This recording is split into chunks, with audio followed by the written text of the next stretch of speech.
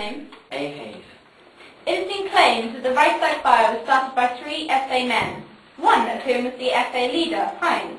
Could Heinz have started the fire? No, Why couldn't Heinz have started the fire? because he was in a far town of Gliwice. Who was with Heinz in Gliwice on the night of the fire? His family. Did anyone else in Gliwice see Heinz on the night of the fire? The nurses of his children. What was Heinz doing on the night of the fire? He was giving a speech to follow the, the Nazi party. Thank you very much. What is your job? I am a lawyer And where's your work? in Berlin. Do you know what happens to people that um, go against the Nazis? Yes. So is it true that if you were a weak man, not saying that you are, you might be frightened to say anything else? I don't view why not. Is the Nazi government brilliant at propaganda? I wouldn't say they were brilliant, but I would say propaganda plays the most big part in there. So is it possible that you, they could have made up information about the public meeting? I don't see why they should, because they are innocent. Were you at that meeting? No. If the Nazis made up a story about a public meeting, would anyone in Germany have dared come, um, to speak up? Why should they make up evidence? They don't need to. I'm not saying they make up evidence. Thank you. Your name? Byron Roth. What was the Reichstag roof made of? It was made of glass. When it broke, how did this help to make the fire much worse? When the Reichstag roof broke, it caused a large updraft which then led to the flames sweeping throughout the whole building. So it is true that a little fire might have got out of control very quickly. Uh-huh. So would such a fire have needed a lot of petrol and chemicals to start it? No. What is your job? I'm a fireman. So you do know what you're talking about. Of course I do. I wouldn't be up here if I didn't. Do you know more about fires than, say, a journalist? I think you already know the answer to that question, and therefore I don't see any relevance in you asking it. Thank you very much. You're welcome. Um, fireman in Berlin, correct? That I am. Who gave you your job? Um, I don't see any point in that question at all.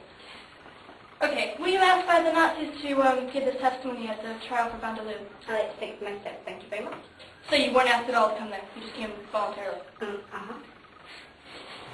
If you do not say this, is it possible that um, you might lose your job? Not to my knowledge. Your name? Herr Wingurth. Herr Could the Nazis have started the fire? No. Was there an underground tunnel to the Reichstag building? Yes. So why couldn't the Nazis gone along the underground tunnel? Because there were many locked doors in that tunnel. After the fire, were any of the doors found open? No. What is your job? I'm a locksmith. So you do know what you're talking about. I do, yes. Thank The you very Nazis much. asked you to say this? No. Who asked you to say it then? No one. So you just voluntarily came up here. Mm-hmm. Um, do you know what happens to people who go against Hitler in Germany? Yeah. Now, you say all the doors in the tunnel were locked. Mhm. Presumably this is because the last person went through them with a key and locked them. If you can find no way of doing that, then I like to hear it. So, if an SA man had a key, could he have locked them after he had gone through? He could potentially, but I don't really see how one SA man could have gone through, started fires, came back, locked all the doors behind him without leaving any evidence there. Who else would have gone through? I don't know. What is your name? Stefan Delmer. On the night of the fire, who did Hitler think had started the fire? He wasn't sure. What did Hitler say? He said he hoped it was the communists. Why did Hitler want the fire to have been started by communists? It would have given further proof that the communists are a threat to Germany and thus need to be banned. Did Hitler seem excited by the idea that the communists started the fire? Not overly excited. Where were you on the night of the fire? With Hitler and the other Nazi leaders. Did you see Hitler behave like this with your own eyes? Yes. Does what you saw, how Hitler behaved, fit with the theory that Hitler has started the fire? Not at all. What is your job? I'm a journalist with the Daily Express. Is the Daily Express the most important newspaper in the world? We like to think so. But it's not. I suppose not. Okay, do you not think it was strange that Hitler on such an important occasion was with you, a foreign journalist, instead of being with the chief of police? Or... He wasn't solely with me. He was with the other Nazi leaders as well. So Goring and Goebbels were there as well? Yes. Um, when you see a film with an actor playing Hitler, is the actor playing to be angry, surprised, or is he just acting? Is that relevant? If it's an actor, he should be acting. Is it not possible that Hitler could be acting? Doubtful. Hmm. Is it possible that Hitler was acting like this just to give, so that you would go away and write an article? If he were, I'm sure he would have had much more press. When did you write the story? 1959. The fire happened in 1933. How many years ago be- between 1933 and 1959? Uh, about 26. So is it not possible that in 26 years you may have forgotten what really happened? I'm not that old. My memory's still... Okay, then, can you tell me what Hitler was wearing? He was wearing his normal suit, a green jacket, and green pants. Can you remember what you ate that night?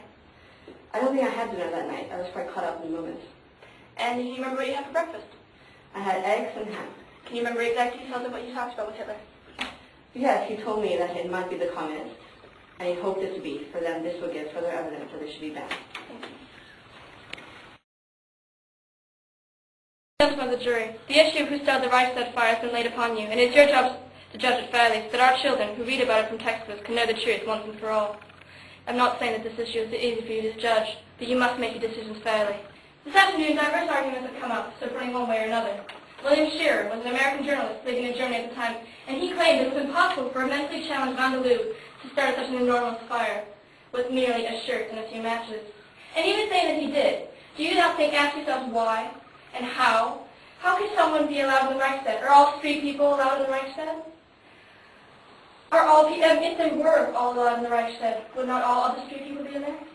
Now, ladies and gentlemen, something seems wrong with van confession. It appears to me, based on the facts we looked at this afternoon, he could not have been alone, not only because the fire was way too big for him to stop, but also because there was no other way for him to get in unless someone helped him in.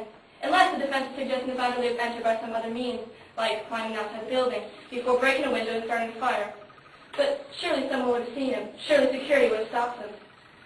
Perhaps the defense is implying that he entered by other means again, but now we're running low. As established in this very court, um, there was an underground tu- tunnel with many locked doors, but since the doors were locked, der Lubbe couldn't have used them. He would have had keys in his pockets.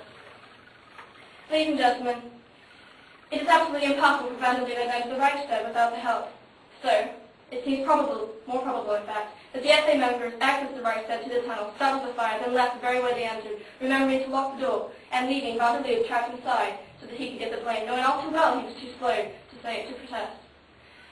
He was tricked, just like Arthur Koestler has testified today. Karl Ernst was an SA man who was killed after the fire, and no one knows quite why.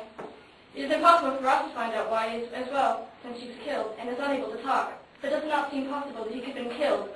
Um, he could have been killed when he appeared he might be able to talk. Herr Rauschning claims that um, Goring told him that his men went to Reichstag and set it on fire. And we heard General Franz Halder claim that Goring started the fire himself. The court has no proof to say that these men are lying, so why not believe them? We know the people, we know what kind of people the Nazis are. They bullied and killed those who disagreed with them. And we know what kind of person Hitler was, uh, hungry, power-hungry, violent, selfish man who was prepared to do whatever he could to get, whatever, to get power, like he did with the Munich Putsch. All the defense witnesses here today were terrified for their lives. They all have families to feed, jobs to keep. Dr. Sack was paid, even though he tries to deny it. Why could the Na- why would the Nazis have to pay someone unless they had something to hide? And how can you blame them? Wouldn't we all be if we were in their case? Stephen Delmer claims that he was um, with the on the dramatic night. Doesn't that seem odd? A journalist from a news, foreign newspaper with Hitler. Seems too coincidental. It seems like Hitler planned it. Ladies and gentlemen of the jury, the task of judging such an event is difficult since the truth lies somewhere buried in this web of bias, bribery, hearsay, and fear. Think long and hard before you come to a decision. Remember, you may be the jury for this, but history will be the judge for you. I spoke at the beginning of this trial. I spoke of the truth. I hold that up to you again, ladies and gentlemen. The truth of modern times is based on facts and proof. And during the cross-examining of witnesses today, we have seen hard, concrete proof that the Nazis could not have set this fire. One of the people accused of this barbaric act has a foolproof alibi at the time of the fire, and we have a reliable statement from a reliable, non-political man, accomplished in his particular career, that it was impossible for members of the Nazi Party to have passed through underground tunnels to the Reichstag. William Shirer was simply a journalist living in Germany. His only claim to coming up here and pointing out evidence against the Nazis was that he lived in Germany. He had no inside knowledge. He had no secret know-how into the workings of the Nazi Party. This is ridiculous. A large portion of the witnesses for the prosecution are openly anti-Nazi. They would be delighted, I'm sure, to see this party falsely accused of this crime, whereas we search only for the truth of the matter. This is more important than politics, ladies and gentlemen. This is more than petty party rivalry. Today is the time to search for the important things in life and forget the bias and prejudice so rampant all over Germany. Forget your own political opinions here, whatever they may be, and don't think of this as a faceless party being put to trial, but innocent men who have done no harm and wish only to save Germany from the terrifying maniacs or maniac who committed this crime. If you, the jury, choose to see the truth in this trial, it shall be a triumph for Germany. We shall take the flames of the tragically burned Reichstag and use them to light the way to a freer, more true Germany.